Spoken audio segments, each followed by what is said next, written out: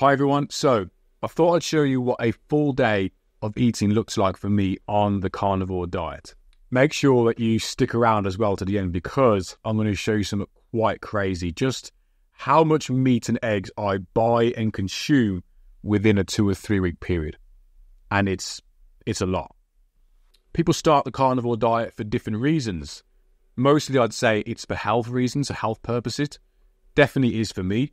But on top of that, I'm trying to build muscle. I'm trying to see how far I can take this physique that I'm building, simply just from eating red meat and fat only. This is the first meal of the day so far. It's now two o'clock. Three beef patties, some rashers of bacon, two beef sausages, and six scrambled eggs. Sprinkled some salt on top and some cheese, plenty of fat in it as well, and it tastes absolutely incredible. That's one of the best meals I could ever eat. It's so, so nice. I honestly thought that I would get bored of eating meat and eating the same thing over and over again. A lot of people, they need variety, they need different flavors. My body now craves that taste, the meat taste. It craves fat more than anything, I'd say. The fat is what gives it the flavor, and it's just, it's just surreal. Like it tastes so good especially after a workout, my body is low on nutrients. It's just been, you know, through a real tough two hour training session. Now it needs to refuel itself, it needs to recover. And when it starts to taste that fat and that meat, my God, like the flavors just burst in your mouth. It's so, so good. So, what about calories then? And, you know, portion sizes? And is there a minimum that we should be eating? What time of day should we be eating? Well, really, all those questions are irrelevant, in all honesty. Calories, I have absolutely no idea.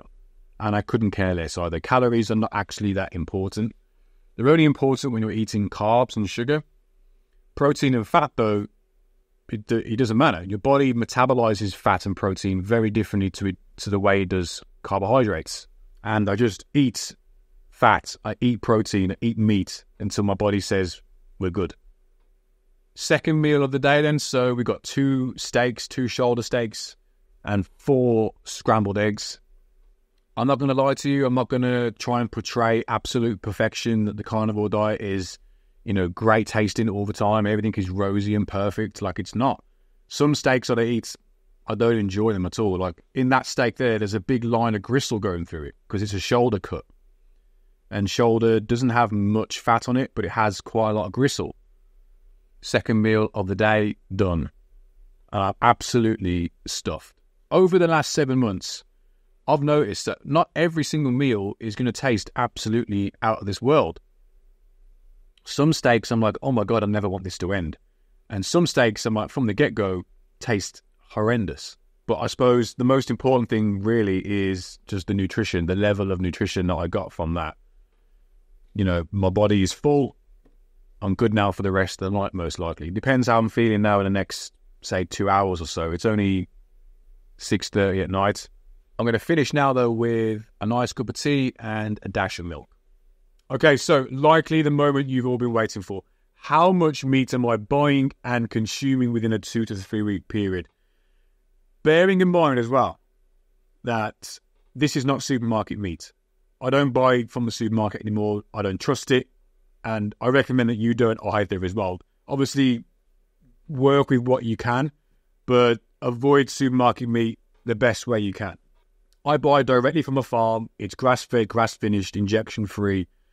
Um, you know, I can see the cows in the field and know how they're raised. So I've got a really good sort of understanding of where my meat has come from and the process it goes through straight into my hands. Massive, massive difference in quality. Like a huge, huge quality compared to supermarket. And it's just, it's just very odd supermarket meat. I do a separate video on it, you know, where I get my meat from, and I'd even take it to the farm as well, so you can have a look around. And it's, you know, it's fantastic, really. But let's get into it. Kicking off with ten ribeyes, and I'm just going to let this run really because it looks so great. I love watching it, and I get so hungry when I see this man. Like my body literally craves this stuff it's hard to believe as well. It's hard to wrap our heads around that red meat contains everything that the human body requires to sustain life and perform optimally. And this is what we're not educated on. We're told that red meat is really bad for us and it causes all these problems. When in reality, we've been eating red meat for, for the last what, three million years. Like we've literally evolved eating red meat and fat. It's what our bodies are designed to digest and absorb. We require it. And the more you do this, the longer you do this, the more that realization starts to kick in. And you you recognize actually that wow, we've been misled as a society to the greatest extent ever. I mean, it's literally a crime against humanity that we are told that, our very food source, our natural food source, is bad for us. If you stop and think about it and look around you for a second, society is the fattest and sickest it's ever been in human history. We are designed to be optimally healthy from cradle to grave.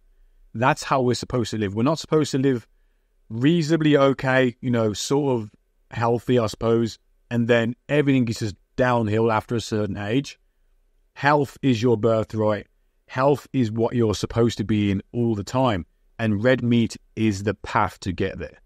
If you're on the fence about this, right, you're hearing this for the first time, you're wondering, right, this guy, he, he can't be telling the truth. Surely not. He hasn't built that physique just from eating red meat.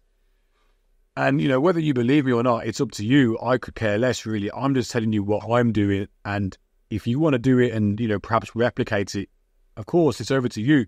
But go and check out the tens of thousands, if not hundreds of thousands of comments and people out there in the world now that are seeing incredible life transformations, health transformations from this way of living, from introducing animal products back into their life. Vegans who have been you know, a, a decade on plants, their health is deteriorating. They switch over to meat, and suddenly they've found a new lease of life. They've recovered. They've found optimal health again. The person suffering with chronic, multiple chronic diseases, right? Reversed. Literally, they've been on tablets for 10, 20 years, and suddenly it's reversed in 90 days to six months because they've introduced red meat back into their diet. It's doing incredible things for people it's done fantastic things for me, and I hope that it could do great things for you as well. So there we have it. That's a typical day for me um, on a carnivore diet, building muscle and uh, you know maintaining optimal health. Don't get me wrong, you know not every day is like that. Some sometimes I fall off track. Sometimes I cheat. I might have a bit of chocolate here and there. You know, I'm not going to portray this absolute perfect lifestyle of eating meat and that's it. But 99% of what I'm eating is what you've just seen. And that is literally how my days most of the time, 99% of the time, that's how they look. If you like this video, give it a thumbs up for me. Share it with somebody as well. It could be useful to someone. And subscribe for more muscle building content, more carnivore content that's coming out very soon. I'll speak to you soon.